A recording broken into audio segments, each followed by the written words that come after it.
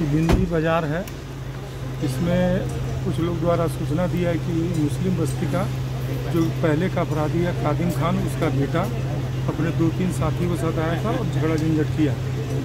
और हम छानबीन कर रहे हैं। किसी को भी इस तरह का गुंडई, बदमाशी करने का हक नहीं है, ना अधिकार देंगे। सब जो गलत करेगा, वो जेल जाएगा। आज मैंने बाज़ार लोगों के साथ बैठे हैं, बहुत अच्छा से बातचीत हुआ। और वो लोग हमको बताएँ कि यहाँ पहले से पुलिस का ई भी था, जिसमें हमारे पुलिस वाला आराम करते थे, वो सब भी देखें। और हम आश्वासन दिए हैं इन लोगों को कि आप लोग निर्भीक होकर अपना दुकानदारी करिए, बढ़िया से करिए, कोई दिक्कत नहीं होगी। मैं हर बार, हर दिन, दो बार, तीन बार गुजरता हूँ। एक गलती इन लोगों से हुई है कि इन को अगर परसों रोज कोई आके बदमाशी किया था तो हमको सूचना देना चाहिए। लेकिन हम आज उसको निष्पादन कर देंगे।